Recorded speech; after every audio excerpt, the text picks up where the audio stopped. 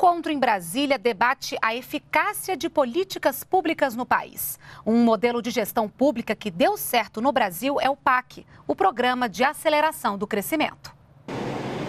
Obras de ferrovias, rodovias, aeroportos, hidrelétricas, casas populares. São mais de 30 mil projetos incluídos na maior ação de infraestrutura do país, o Programa de Aceleração do Crescimento, o PAC.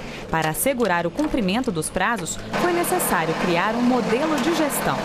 Entre as medidas tomadas para dinamizar o gerenciamento do programa estão a seleção de servidores públicos específicos para trabalhar com o PAC, a elaboração de projetos de planejamento e logística, além da criação de um sistema de monitoramento para identificar problemas que estejam atrasando as obras e propor soluções toda obra que entra no PAC, ela tem, to, tem que ter todos os recursos disponíveis para que ela ocorra. Todos os ministérios hoje estão, estão estruturados para ter um acompanhamento, para saber em que fase está a obra, quais são os problemas que tem essas obras, quem são os responsáveis por resolver esses problemas, tem que ter cronograma.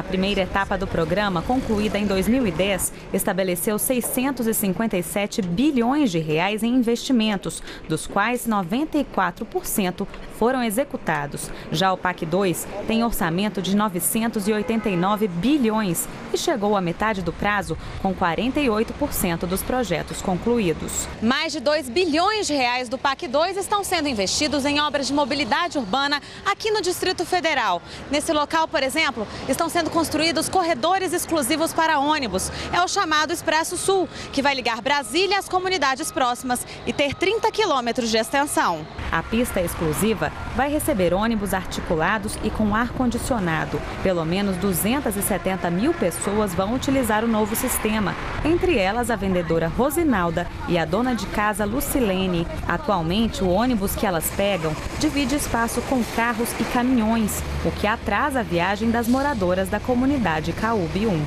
No engarrafamento, a gente passa uma hora para chegar ao nosso destino. Né? Com essa obra, a gente espera que melhore. Fica na parada um tempão esperando o ônibus, né?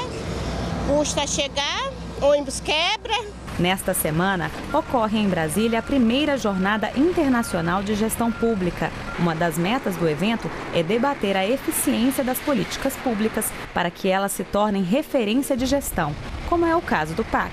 O principal objetivo nosso é que tenha resultado, né? que essas obras ocorram, porque elas são importantes para o desenvolvimento do país ou para a melhoria das condições de vida da população.